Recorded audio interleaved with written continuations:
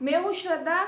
मैं आपका अपने YouTube चैनल पर फिर एक बार स्वागत करती हूँ। जैसा कि आपको पता है, मैं आपको हिंदी व्याकरण पढ़ाने वाली हूँ, जिसमें हमने कल व्याकरण की परिभाषा पढ़ी थी और व्याकरण के अंश पढ़े थे।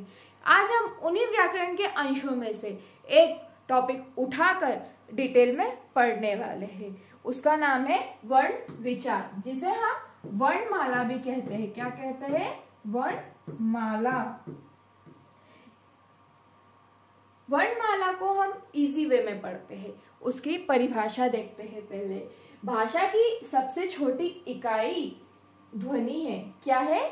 ध्वनि है। इस ध्वनि को ही हम वर्ण कहते हैं। और इसी वे में देखेंगे तो वर्णों के व्यवस्थित समूह को वर्णमाला कहते हैं। मतलब जैसे ये पूरा लिखा हुआ है, ये एकदम प्रॉपर लिखा हुआ है। इस चीज़ को क्या कहेंगे आप? वर्णमाला। ओके? उसके बाद हम इसके पार्ट्स देखेंगे मतलब भेद देखेंगे। भाषा के इन ध्वनियों को उच्चारण की दृष्टि से दो भागों में बांटा है। कितने? दो भागों में। पहला है स्वर, दूसरा है व्यंजन। स्वर कितने प्रकार के होते हैं? स्वर होते हैं ग्यारह प्रकार के। और व्यंजन होते हैं तैतीस प्रकार के। दोनों को मिलाएँगे तो कितने हो गए? Forty four okay?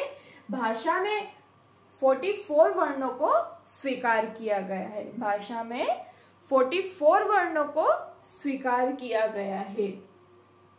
लेकिन देवनागरिक लिपि के अनुसार 52 वर्ड है हमारी वर्णमाला में। वर्णमाला तो सबको पता होगी, अ, से लेके ग तक। इसमें 52 वर्ड्स होते हैं। लेकिन भाषा में ओनली 44 वर्णों को स्वीकार किया गया। और देवनागरी के हिसाब से देखेंगे तो 52 वर्ड्स को स्वीकार किया गया है।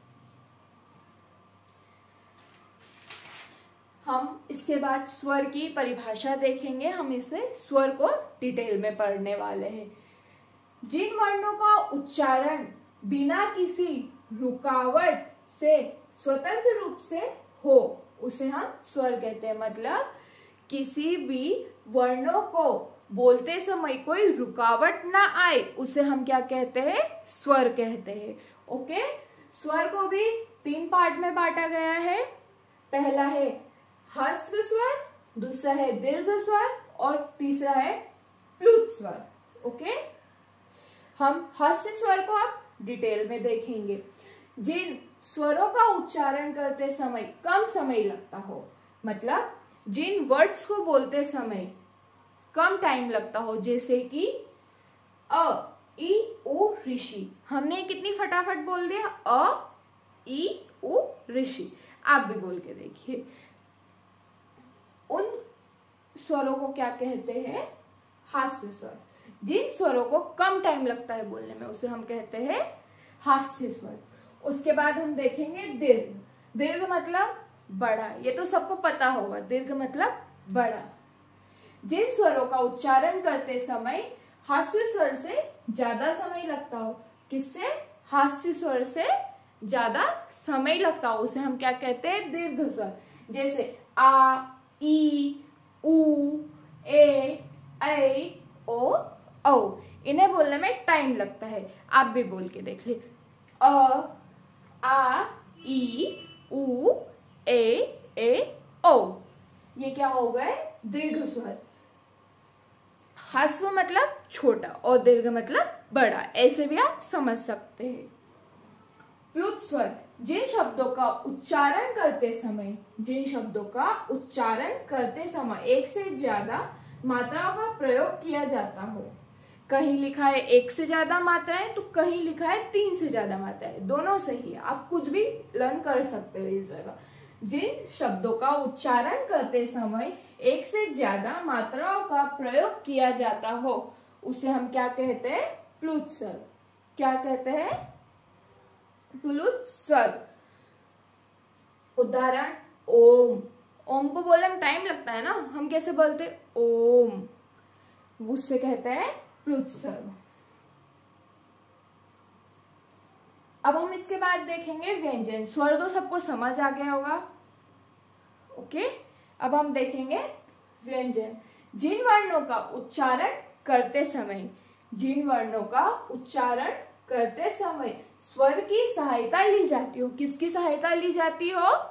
स्वर की। सहायता ली जाती हो, उसे हम क्या कहते हैं? व्यंजन।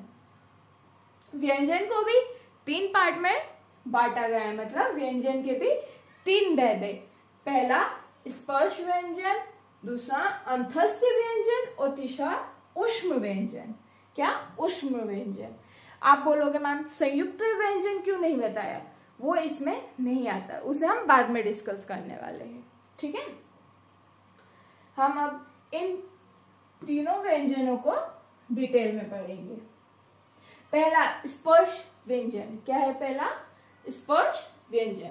वर्णों का उच्चारण करते समय आपका जीव, मुख के विभिन्न भागों का इस्तेमाल किया जाता हो। मतलब वर्ण बोलते समय कुछ भी वर्ड बोलते समय हमारी जीभ, गला, दांत, होठ, इनका प्रयोग किया जाए, उसे हम क्या कहते हैं? उनका इस्तेमाल किया जाता हो जहाँ, उसे हम कहते हैं स्पर्श व्यंजन, ओके? स्पर्श व्यंजन कितने होते हैं? टोटल होते हैं ट्वेंटी फाइव ओके? कितने होते हैं? ट्वेंटी फाइव इन्हें हम वर्गों में देखते हैं। क वर्ग में आता है? क, ख, ग, घ, अड़। क्या आता है? क, ख ग घ, अड़। इसे हम कहते हैं कंठे। कंठे। क्या बोलते हैं? कंठे। जो गले से आवाज़ निकलती हो। बोल के देखो। क, ख, ग, घ, अड़। इसे हम बोलते हैं तो हमारे लिप्स चकरा रहे या फिर टंग अपनी जीप लग रही है कहीं? नहीं। डायरेक्ट गले से आवाज़ आ रही। इसलिए इसे बोलेंगे हम कंठ। है फिर च वर्ग। च, छ, ज झ इय। च, छ, ज झ इय। इसे बोलेंगे तालव्य। तालव्य मतलब अपनी जो जीभ है, वो अपने मुँह में ऊपर की साइड टकराती है।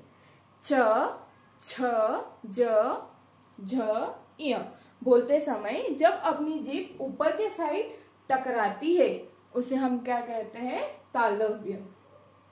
और ट वर्ग में ट, ठ, ड ड अड़ मतलब इसे कहते हैं मुघेन्य।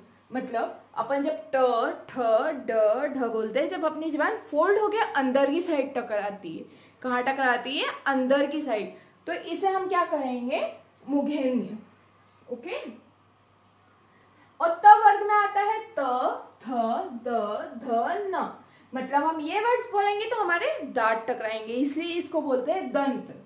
क्या बोलेंगे? दंत। ओके उसके बाद प वर्ग में आता है। प, फ, ब, म, भ। मतलब प, फ, ब, भ, म बोलेंगे तो हमारे होट्स टकराते इसलिए हम इसे क्या बोलेंगे? ओस्ट उच्चारण के प्रयत्न पर कुछ भागों में बांटा गया है। मतलब ये जो हमने पढ़ा है अभी, स्पर्श व्यंजन, इसे भी उच्चारण के प्रयत्न पर कुछ भागों में बांटा गया। उसे भी हम डिटेल में पढ़ेंगे। तो आइए देखते हैं। पहला है स्वर, स्वरतंत्र में श्वास का कपन। इसमें दो पार्ट है, अघोष है, एक सघोष और घोष। सघोष को ही क्या कहते हैं? घोष कहते हैं। इसको कंफ्यूज मत होना बिल्कुल भी। पहला है अघोष। अघोष को हम डिटेल में देखते हैं। जिन ध्वनि को उच्चारण करने में, जिन ध्वनि को उच्चारण करने में स्वर तंत्रीय क्रिया में जो कपन होता है, वो नहीं होता है। क्या होता है? जो स्वर तंत्रीय क्रिया है, जिसमें जो कपन होता है, वो नहीं होता है। उसे हम क्या कहेंगे? अघोष। जैसे, क, ख, च, छ, ट, ठ, त और फ। इसे हम कंटिन्यू बोलते हैं तो बीच में कुछ प्रॉब्लम आती है, जैसे क, ख बोलने में कुछ प्रॉब्लम आ रही है बीच में। नहीं, क, ख, ग, घ, ऐसे बोलेंगे तो थोड़ा बहुत प्रॉब्लम्स आती है। तो इन्हें हम क्या कहेंगे? अघोष। क्या कहेंगे हम? अघोष। फिर उसके साथ साथ अघोष में ही आते हैं श। श शक्कर वाला षटकोण वाला स सड़क वाला फ फल वाला ये भी वर्ड अघोष में ही आते हैं। उसके बाद हम पढ़ेंगे सघोष। मैंने बताया था अभी थोड़ी देर पहले, घोष और सघोष एक ही चीज़ है। क्वेश्चन आए तो कंफ्यूज मत होना। दोनों चीज़ एक ही है। कभी सघोष भी दिया तो यही डेफिनेशन लिखना है और घोष भी दिया तो यही डेफिनेशन लिखना है। सभी वर्णों के चौथा, तीसरा, चौथा और पांचवा वर्ण सभी वर्णों के, सॉरी, यहाँ पे वर्ण नहीं आएगा, यहाँ पे वर्ग आएगा। सभी वर्गों के तीसरा, चौथा, पांचवा वर्ण, ग, घ, ज ज, सभी सघोष होते। अभी मैंने आपको वर्ग बताए थे थोड़ी देर पहले। क वर्ग, च वर्ग, ट वर्ग, त वर्ग और फ वर्ग। उसमें जो भी तीसरा, चौथा और पांचवा वर्ण होगा, जो भी तीसरा, चौथा और पांचवा वर्ण होगा। जैसे कि ग, घ, ज, झ, सभी सघोष होते हैं। क्या होते हैं? सभी सघोष होते हैं, ओके? और उनके साथ साथ ही ड ड, ज, य, र, ल व ये भी सघोष में ही आते कहा आते हैं? सघोष में ही आते हैं। उसके बाद हम पढ़ते हैं श्वास या प्राण की मात्रा। श्वास या प्राण की मात्रा। इसके भी दो भेद होते हैं। कितने होते हैं? दो भेद। एक होता है अल्प प्राण और दूसरा होता है महाप्राण। पहला क्या होता है? अल्प प्राण और दूसरा क्या होता है? महाप्राण। हम अल्प प्राण को देखते हैं। जिन ध्वनि के उच्चारण में श्वासन की मात्रा कम निकलती हो मतलब जिन ध्वनि में उच्चारण में जिन ध्वनि को बोलते समय श्वासन की मात्रा कम निकलती हो मतलब अपना जो श्वास है, सांस है, वो कम निकलती हो, उसे हम क्या कहते हैं? अल्प प्राण सभी वर्गों के एक, तीन व पाँच तथा ड, य, र, ल, व, ठीक है? इन सभी वर्डों को हम कहेंगे अल्प प्राण क्या कहेंगे? अल्प प्राण ओके? उसके बाद हम देखते हैं महाप्राण। उच्चारण करते समय श्वासन की मात्रा जहाँ ज़्यादा निकलती हो, उस वर्ड को हम कहेंगे महाप्राण। क्या कहेंगे? महाप्राण। सभी वर्गों के दूसरा, चौथा तथा श श, स, ह। अभी थोड़ी देर बताया था, स, श, ह, इनको बोलने में अपने मुँह से आवाज़ ज़्यादा निकलती है थोड़ी सी। तो ये कहेंगे महाप्राण में सभी। ओके? उसके बाद नेक्स्ट हम देखते हैं अंथस्थ व्यंजन। क्या देखते हैं? अंथस्थ व्यंजन। ये हमारा दूसरा व्यंजन है। कौन सा है? दूसरा व्यंजन। इसकी डेफिनेशन है, जिन व्यंजनों का उच्चारण करते समय, जिन व्यंजनों का उच्चारण करते समय वायु किसी भी भाग को स्पर्श नहीं करती हो मतलब एयर हवा किसी भी पार्ट को छूती नहीं हो, उसे हम क्या कहते हैं? अंथस्य व्यंजन जैसे य र ल, व, जैसे य र, ल, व, इसे क्या कहते हैं? अंथस्य व्यंजन। उसके बाद हम देखेंगे उष्म व्यंजन। क्या देखेंगे हम? उष्य व्यंजन। जिन वर्णों के उच्चारण करते समय, जिन वर्णों का उच्चारण करते समय वायु तेज गति से निकलती हो। मतलब हवा तेज़ी से निकलती हो। उसे हम क्या कहते हैं? उष्य व्यंजन क्या कहते हैं? उष्य व्यंजन ओके श श, स, ह। अभी मैंने बताया था, इनको बोलने में एयर निकलती है अपने मुँह से। तो ये क्या हो गए? उष्य व्यंजन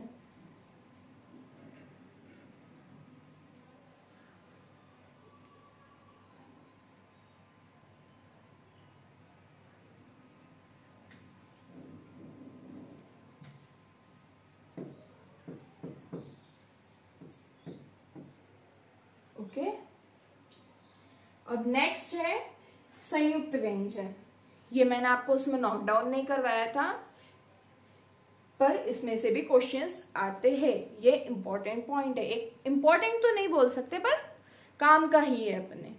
तो इसमें से क्वेश्चन आते हैं जो इंपॉर्टेंट रहते हैं। तो हम इसको भी देख लेते हैं। दो व्यंजनों के मेल से संयुक्त अक्षर बनते हैं मतलब किसी भी दो वर्ड को मिलाएँगे तो एक वर्ड बनता है। क्या बनता है?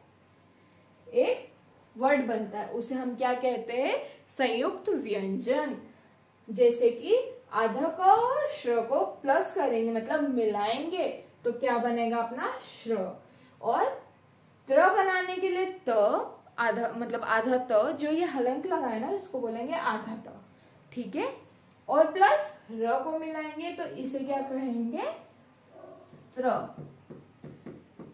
ठीक है? और ग के लिए ज प्लस इ मिलाएँगे। और श्र श्रमिक वाला बनाने के लिए श शक्कर वाला और र को प्लस करेंगे। मतलब ये जो भी वर्ड लिखे हलन का ध्यान रखना। हलन बिल्कुल मत भूलना, हलन बहुत ज़रूरी। इसमें से क्वेश्चन आता है तो अधिकतर ये श्र में से आता है और ये श्र में से आता है। ठीक है? ये दोनों इंपॉर्टेंट है, इन्हें थोड़ा ध्यान दे देना। अब इसके बाद हम पढ़ेंगे क्वेश्चंस हमारे। मेन क्या है? क्वेश्चंस मैंने अभी कुछ ही क्वेश्चंस बताए हैं, बाकी हम पूरा सिलेबस करने के बाद और रिवीजन करने वाले हैं। तो हमारा फ़र्स्ट क्वेश्चन है, उच्चारण के आधार पर अ है। उच्चारण के आधार पर अ क्या है? पहला ऑप्शन है उसका ओस्ट, दूसरा ऑप्शन है तालव्य, तीसरा ऑप्शन है मुग्न, मूर्धन सॉरी ओके और चौथा ऑप्शन है कंठ्य। अपन अ बोलते हैं तो अपने मुँह में से कहा से आवाज़ निकलती है? अ गले से। कहा से निकलती है? गले से। तो इसका आंसर आएगा फोर कंठ्य। ठीक है? इसका आंसर आएगा फोर्थ कंठ्य। फिर दूसरा क्वेश्चन है य, र, ल, व। व्यंजनों को कहते हैं। य र ल व व्यंजनों को क्या कहते हैं? पहला ऑप्शन है स्पर्श व्यंजन, दूसरा ऑप्शन है अंथस्य व्यंजन, तीसरा ऑप्शन है उष्म व्यंजन और चौथा ऑप्शन है कोई भी नहीं। तो इसमें क्या आएगा? अंथस्य व्यंजन। ठीक है? मैंने अभी थोड़ी देर पहले पढ़ाया है। उसके बाद तीसरा क्वेश्चन है अपना। हिंदी की जिन वर्णों का उच्चारण करते समय केवल श्वास का प्रयोग किया जाए। उन वर्णों को कहते हैं। क्या कहते हैं? फ़र्स्ट ऑप्शन है अघोष, दूसरा ऑप्शन है सघोष, तीसरा ऑप्शन है अल्प प्राण और चौथा ऑप्शन है महाप्राण। फिर से मैं क्वेश्चन रिपीट करूँगी। हिंदी के जिन वर्णों का उच्चारण करते समय केवल श्वास का प्रयोग किया जाए, उन वर्णों को कहते हैं। ऑप्शन ए आएगा इसका। क्या? अघोष। क्या कहते हैं इसको? अघोष कहते हैं। उसके बाद हिंदी वर्णमाला में अपना चौथा क्वेश्चन है।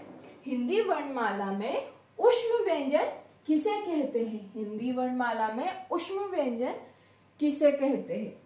तो क्या आएगा यहाँ पे? ऑप्शन है श श, स, ह, फिर है त, थ, ध उसके बाद है ट, ठ, ड ड, च, छ, ज झ तो इसमें आएगा ऑप्शन ए स, ह।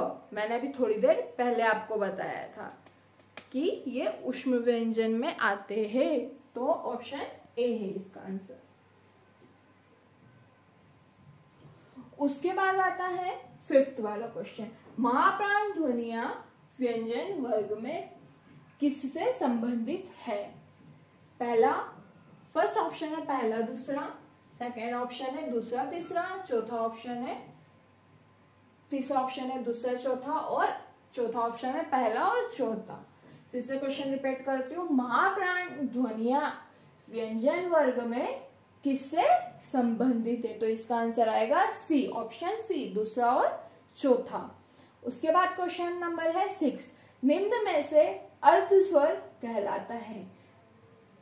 ऑप्शन ए य फिर ऑप्शन बी है म ऑप्शन सी है र और ऑप्शन डी है ल। मैं क्वेश्चन फिर से रिपीट करती हूँ। निम्न में से अर्थ स्वर कहलाता है। क्या कहलाता है? इसका आंसर आएगा ऑप्शन वन ए क्या आएगा? ऑप्शन ए य। ओके क्या आएगा? य। उसके बाद हम हमारा अगला क्वेश्चन देखते हैं। तो सेवन नंबर का क्वेश्चन है। प्रयत्न के आधार पर, किसके आधार पर? प्रयत्न के आधार पर ल किस प्रकार की ध्वनि है? ल किस प्रकार की ध्वनि? उसके ऑप्शन से, पहला ऑप्शन से पार्श्विक, पहला ऑप्शन है पार्श्विक। दूसरा ऑप्शन है उत्क्षिप्त उक्षिप्त और तीसरा ऑप्शन है प्रकपित। और चौथा ऑप्शन है संघर्षशील। तो इसका आंसर क्या आएगा? इसका आंसर पहला आएगा पार्श्विक, ओके? क्या आएगा? पार्श्विक। फिर नेक्स्ट है हमारा आठवें नंबर का। निम्नलिखित में से कौन सा शब्द अमात्रिक है? मतलब जिसमें मात्रा नहीं है। इनमें से कौन सा शब्द है? पहला ऑप्शन है कारखाना, दूसरा ऑप्शन है अमिताभ, तीसरा ऑप्शन है कलरव और चौथा ऑप्शन है चहचहाना। तो इसमें से क्या आएगा? तीसरा ऑप्शन कल रव किस, इसमें कुछ भी मात्रा नहीं लगी, इसलिए हम थर्ड ऑप्शन लेंगे। उसके बाद है हमारा क्वेश्चन नंबर नाइन श्रव। वर्ण किसके योग से बना है। कौन सा वर्ण श्रवण से। अभी हमने पढ़ा था संयुक्त व्यंजन। उसमें ये ऑप्शन था। ओके पहला ऑप्शन है क प्लस श। दूसरा ऑप्शन है क प्लस च तीसरा ऑप्शन है च प्लस छ। और चौथा ऑप्शन है क प्लस श। ठीक है? तो इसमें आएगा ऑप्शन फ़र्स्ट क प्लस श। ठीक है? फिर हमारा दसवा क्वेश्चन है, हिंदी शब्दकोश में अम व अह। किस वर्ण के साथ आता है? हिंदी शब्दकोश में अम व अह। किस वर्ण में आता है? पहला है ओ दूसरा है अ तीसरा है अह और चौथा है आ। तो इसका ऑप्शन आएगा बी अ। हमारा नेक्स्ट क्वेश्चन है इलेवन नंबर का जिसमें निम्न में से महाप्राण वर्ण है। ऑप्शन है अ, थ फिर है क, फिर व, फिर छ। इनमें से महाप्राण शब्द कौन सा है? तो कौन सा है इनमें से महाप्राण शब्द? में से है थ। ओके, क्या है? थ। अब बारहवा नंबर का क्वेश्चन है, निम्नलिखित में से दंतव्य वर्ण है। निम्नलिखित में से क्या है? दंतव्य वर्ण है। ऑप्शन ए है य, ऑप्शन बी है च, ऑप्शन सी है त और ऑप्शन डी है उ। ध्यान से देखना, इन तीन ऑप्शनों में नीचे हलंत है और एक में नहीं है, ठीक है? तीन ऑप्शनों में बीच में हलंत है सब में नीचे और एक में नहीं है। हलंत का मेन ध्यान रखना हर जगह और मात्राओं का प्लीज़ तो इसमें है ऑप्शन सी त। ओके इसका आंसर ऑप्शन सी त। और हमारा थर्टीन क्वेश्चन है, घ का उच्चारण स्थान कौन सा है? ध का उच्चारण स्थान कौन सा है? पहला ऑप्शन है हमारा मूर्घ, दूसरा है कंठ, तीसरा है तालु और चौथा है दंत। तो इसमें ऑप्शन आएगा बी कंठ। ठीक है? ऑप्शन बी आएगा। फिर जो हमारा फोर्टीन क्वेश्चन है, इनमें से कौन सा व्यंजन अल्प प्राण है? इनमें से कौन सा व्यंजन अल्प प्राण है? पहला है ख, दूसरा है थ, दूसरा है, तीसरा है च और फिर क है। तो इसमें से आएगा ऑप्शन ए ख। क्या आएगा? ऑप्शन ए ख। ओके उसके बाद हमारा नेक्स्ट क्वेश्चन है फिफ्टीन नंबर का। हिंदी की स्पर्श घोष महाप्राण दंत व्यंजन ध्वनि है। हिंदी की स्पर्श, घोष, महाप्राण, दंत, व्यंजन, ध्वनि है। पहला ऑप्शन है भ, दूसरा ऑप्शन है ठ दूसरा फिर तीसरा ऑप्शन है थ और चौथा ऑप्शन है ह। इन सब में हलंत लगा है, हलंत का ध्यान दीजिएगा। तो इसमें आएगा ऑप्शन सी थ। क्या आएगा ऑप्शन सी थ। उसके बाद हमारा क्वेश्चन है सिक्सटीन नंबर का। हिंदी की स्पर्श, घोष, महाप्राण ओस्ट व्यंजन ध्वनि है। क्या है? ऑप्शन है ए भ। ऑप्शन बी है ठ। ऑप्शन सी है थ। और ऑप्शन डी है। तो इसमें क्या आएगा? ऑप्शन ए क्या आएगा? ऑप्शन ए भ। उसके बाद हमारा क्वेश्चन है सेवेंटीन नंबर का। हिंदी की तालव्य ध्वनिया है। ऑप्शन ए है च, छ, ज झ उसके बाद हमारा ऑप्शन बी है प, फ, ब, भ। उसके बाद हमारा ऑप्शन सी है त, थ, द, ध। उसके बाद हमारा ऑप्शन है डी ट ठ ड, ढ। तो हमारा इसका सही आंसर है ऑप्शन ए च, छ, ज, छ। इसका आंसर है च, छ, ज ऑप्शन ए फिर हमारा क्वेश्चन है एटीन नंबर का कौन सी ध्वनि अल्प प्राण है? कौन सी ध्वनि? अल्प प्राण। है ऑप्शन ए है ख, ऑप्शन बी है ध, ऑप्शन सी है थ और ऑप्शन डी है त। तो इसका आंसर आएगा ऑप्शन डी त। क्या आएगा? ऑप्शन डी त। उसके बाद हमारा क्वेश्चन है नाइनटीन नंबर का। हिंदी शब्दकोश के अनुसार संतान, सकल, सचल, सक्षम शब्द का सही क्रम है। संतान सकल, सचल, सक्षम, शब्द का सही क्रम है। ऑप्शन ए है संतान, सकल, सचल, सक्षम। ऑप्शन बी है सकल, संतान, सचल, सक्षम। ऑप्शन सी है सकल, सचल, संतान, सक्षम। ऑप्शन डी है संतान, सकल, सक्षम और सजल। तो इसका आंसर आएगा option D option D okay संतान सकल सक्षम और सचल फिर हमारा क्वेश्चन है ट्वेंटी नंबर का, किस शब्द में ऋषि स्वीकार नहीं होता? मतलब किस शब्द में हम ऋषि वर्ड यूज़ नहीं करते? पहला ऑप्शन है कृपा, दूसरा ऑप्शन है कृष्णा, तीसरा ऑप्शन है दृष्टि और चौथा ऑप्शन है रिवाज। कृपा, कृष्णा, दृष्टि में तीनों में र का उपयोग आ रहा है। समझे? र का। और इस रिवाज में रिवाज मतलब ये र, रस्सी वाला आ रहा है, रिवाज, और वह कृष्णा कृष्णा ओके? तो इसमें ऑप्शन डी आएगा, रिवाज। फिर हमारा ट्वेंटी वन वाला क्वेश्चन है, किस ध्वनि को अनुस्वार कहा जाता है? क्या कहता है? अनुस्वार कहा जाता है। ऑप्शन है, स्वर के बाद आने वाली नासिक ध्वनिया। ऑप्शन बी है, स्वतंत्र रूप से उच्चारित ध्वनिया ऑप्शन सी है, स्वर के साथ आने वाली ध्वनिया और ऑप्शन डी है, इनमें से कोई नहीं। ऑप्शन डी की जगह कुछ और भी ऑप्शन आ सकता है तो कंफ्यूज में तो होइएगा। ज़रूरी नहीं, जो मैंने ही ऑप्शन दी है, वही देंगे आप लोगों को। इसका आंसर आएगा ऑप्शन ए स्वर के बाद आने वाली नासिक ध्वनिया। क्या है?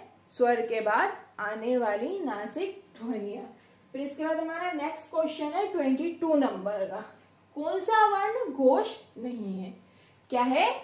कौन सा वर्ण घोष नहीं है? या था मैंने आपको बताया था, सघोष और घोष। एक ही चीज़ है। इनमें कंफ्यूज मत होइएगा। सघोष आए या घोष आए? दोनों का मतलब एक ही होगा। ठीक है? इसका ऑप्शन है ए र, दूसरा ऑप्शन है त, तीसरा ऑप्शन है स, और चौथा ऑप्शन है ड. कौन सा वर्ण घोष नहीं है तो इसका ऑप्शन आएगा बी त. इसका ऑप्शन आएगा बी त. उसके बाद हमारा क्वेश्चन है ट्वेंटी थ्री नंबर का, वर्ण शब्द का अर्थ नहीं होता. क्या? वर्ण शब्द का अर्थ नहीं होता है. तो इसका ऑप्शन है ए रंग. बी है आकाश सी है जाति और डी है अक्षर। तो इसका क्या आंसर आएगा? आकाश। क्या आएगा? आकाश। वर्ण शब्द का अर्थ नहीं होता। वर्ण शब्द का अर्थ नहीं होता। क्या नहीं होता? आकाश। ध्यान रखिएगा, आकाश। उसके बाद हमारा नेक्स्ट क्वेश्चन है ट्वेंटी फोर नंबर का। हिंदी वर्णमाला में व्यंजन की संख्या कितनी होती है? मैंने आपको बताया था हिंदी वर्णमाला में व्यंजन की संख्या कितनी होती है? थर्टी टू या थर्टी थ्री, थर्टी फोर या थर्टी फाइव? थर्टी थ्री होती है। कितनी होती है? Thirty three. व्यंजन होते हैं कुल तैतीस। मतलब थर्टी थ्री। हमारा नेक्स्ट क्वेश्चन है ट्वेंटी फाइव वाला। हिंदी वर्णमाला के स्वरों की कुल संख्या कितनी है? हिंदी वर्णमाला के स्वरों की कुल संख्या कितनी है? तो आएगा ऑप्शन ए है दस ऑप्शन बी है ग्यारह ऑप्शन सी है बारह और ऑप्शन डी है तेरह। ऑप्शन ए है दस ऑप्शन बी है ग्यारह और ऑप्शन सी है बारह और ऑप्शन डी है तेरह। तो इसमें आएगा ऑप्शन बी ग्यारह, क्या आएगा ऑप्शन बी ग्यारह।